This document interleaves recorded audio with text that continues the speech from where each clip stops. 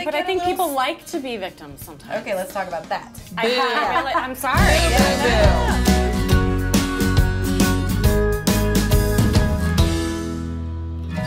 Why do so many women stay in bad relationships? Oh, yeah. Alrighty, let's yeah, let's take a second. No, um, well, that you know what? It's it's complicated. Yeah. Um, it is. It's complicated. The overriding word I would use is fear. A lot of mm-hmm. fear. Fear of making the decision.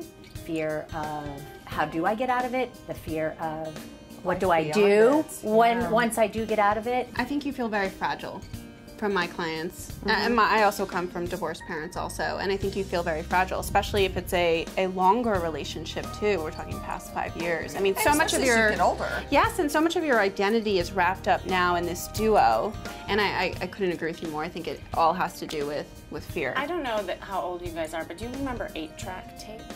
Oh yes. Yes. Right. Do we have to admit that? I, am sorry, but I was an eight-track girl. eight tapes. We'll have another remember video on cassette that. tapes. but Does that- I always tell my clients is that um, our past are like eight-track tapes. And we think that, like, we keep trying to play it over and over again, and in bad relationships, it's like it's familiar to us. And so I always tell my client, like, get rid of the eight track mm-hmm. tapes. They don't exist any longer. They don't play. It's time for the MP3. It's get rid of that.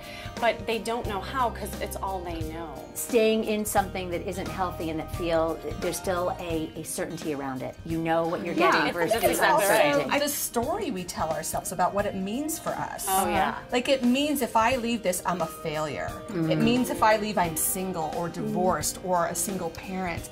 And those stories, I think, keep women so stuck. I don't think it's all I can't because I don't know how. Like I think that's a piece of it, but I think there's a piece of You're it. calling a where- little BS I'm on that? All right, Well, bring it. I I mean- there's a piece of us that get. That But get I think a little- people like to be victims sometimes. Okay, let's talk about that. I have really, I'm sorry. Yeah, no, no, no, yeah. You're right, and boo. Yeah. But I, I think it again goes back to sense of identity. I think a lot of it is wrapped up. Sense of identity can be wrapped up in being a victim also. Women, a lot of times, are addicted to the way bad love feels. Mm. You know, The adrenaline rushes and the ups the, and downs. the roller coaster mm. Yeah. of like It's it's, great, it sucks, it's great, it sucks, and you get on that ride, and to your point about the victim, you kind of choose to stay on that ride, and it's it's.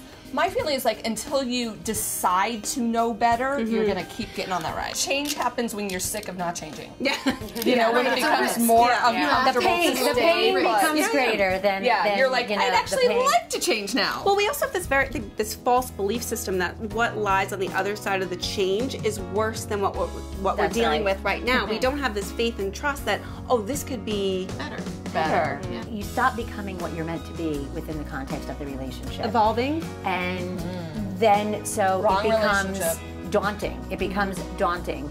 And so it is easier to just say, "This is my lot." Like to right? give this up? is it. I remember there was a client I was working with, and we were p- practicing flirting techniques, right? And so, yeah, well, we'll talk about that later. But it, what was so interesting to me is that there was a guy who was treating her as a total gentleman. He was doing all the things that you were saying, mm-hmm. opening the doors, you know, and really complimenting her.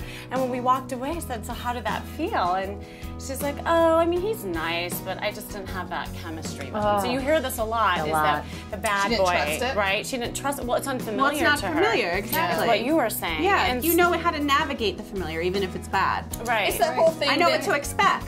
yeah. The uncertainty Yeah. is too It- uncomfortable. It's that whole thing of like if someone wants you to join their club, you don't want to join their club. Like, Why would I want to join their club? Reverse It's gotta be a psychology, super. What percentage of your clients deal with this issue? I'm in a shitty relationship. I need Oh. to get out. I don't know how. Hmm. What percentage? Go around the room.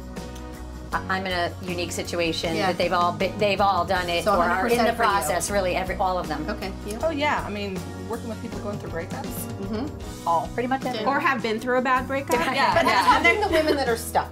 Forty percent probably. Yeah. I have a lot of I'd say women. 50 50 because some just don't even know what a relationship looks like. Okay, so one final question. When a woman makes a decision to get out of a bad relationship, how easy is it once she's decided to get out?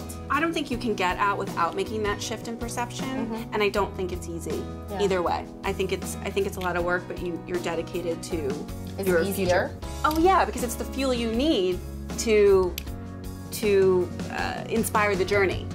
You know, so you can't do it without that.